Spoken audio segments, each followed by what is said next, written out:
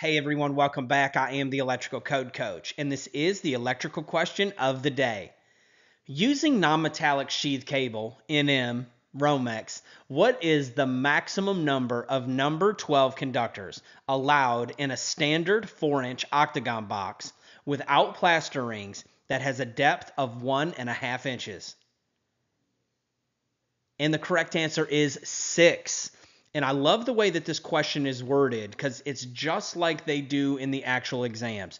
It's full with a ton of useless information. Now, it does have a lot of very useful information, but we don't need to know if it's non metallic sheath cable.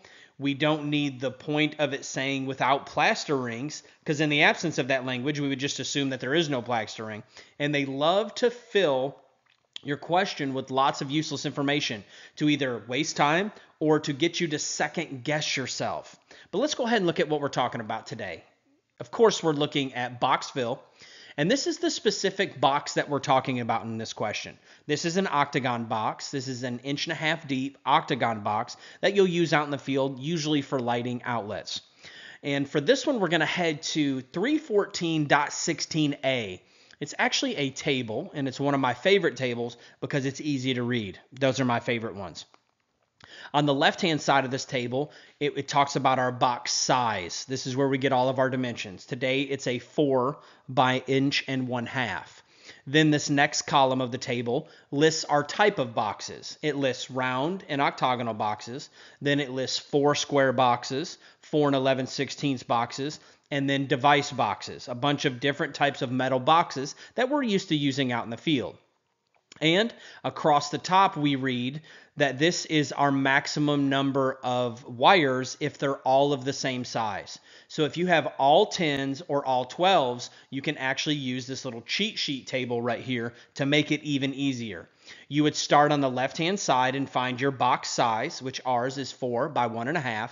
Then you come to the type of box, which ours falls under the octagonal section. Then we're going to come across until we find 12 gauge wires. Now on this top line is where all the different gauges are listed. And then when you come down here, it tells you the physical number of wires. So we went from box size to box type, then across the top and found 12 gauge, and then we come down and we tee off with that number, and we find today that it's six conductors. Great job. I am the electrical code coach, and my bargain is that these videos will add value to you, and you will in turn add value to others. I want to let you know that you can do it. Just keep fighting. Whatever you're working for, whatever level you're trying to push through and get to the next level, you can do it. I'm in your corner. I've got your back. If there's anything you need from me, you can always email me at electricalcodecoach at gmail.com or just shoot me a text anytime at 423 895 3247. I always get back to everybody as quick as I can. And if I don't get back to you in a reasonable amount of time, just text me again. You're never going to be a bother. When I can't answer, I do. When I can't answer, I don't. Let's get to it.